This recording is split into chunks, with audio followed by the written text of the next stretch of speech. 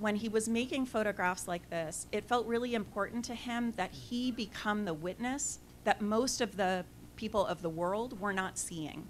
And so he took on this incredible responsibility to make sure that people understood what was happening. And so he wanted to make sure that he could create a record that would outlast him and that would be an argument against this kind of um, unbelievable harm that was happening.